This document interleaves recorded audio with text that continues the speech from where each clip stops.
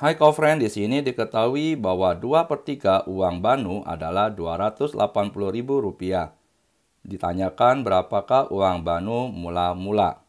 Dapat dituliskan di sini jika uang Banu mula-mula kita sebut B, berarti 2 per 3 dari B adalah sama dengan 280.000.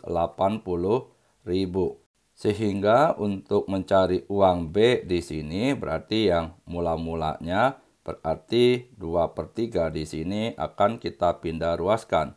Nah, pindah ruas untuk kali berarti dibagi, bagi berarti kali dengan kebalikannya. Maka kita tuliskan berarti B di sini adalah 280.000 dikali dengan kebalikan dari 2 per 3 berarti 3 per 2. Ini kita sederhanakan coret-coret ini berarti 14.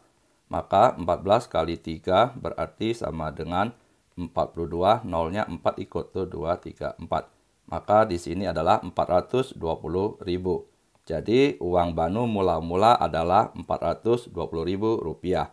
Jadi pilihannya adalah yang B. Demikian pembahasan kita, sampai jumpa di pertanyaan berikutnya.